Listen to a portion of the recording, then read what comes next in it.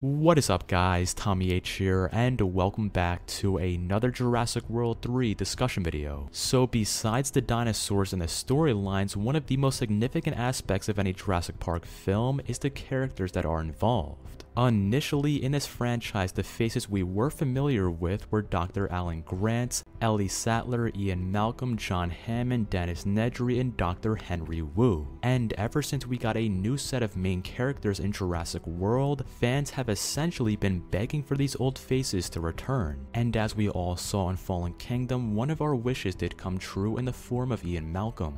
Despite him not having a gigantic role in the film, it still felt like the aura of Jurassic Park was hovering above Fallen Kingdom. As he has been in the past, Ian Malcolm was correct in his assessment of the situation. Letting nature take its course in the form of Mount Sibo was the correct decision. Now the human race is forced to coexist with these dangerous dinosaurs. If there was no involvement with Isla Nublar, the idea of real living dinosaurs would be long gone. It just seems to me that the main group we did see in Jurassic Park has a much better understanding of these dinosaurs and where they belong on this planet. And that then leads us to what Colin Trevorrow did say about these characters returning for Jurassic World 3. As quoted, he says, We felt like this was Ian Malcolm's return. This was his moment, let him have his moments. I feel that way about everyone, especially Laura Dern in that she never got to have her own movie.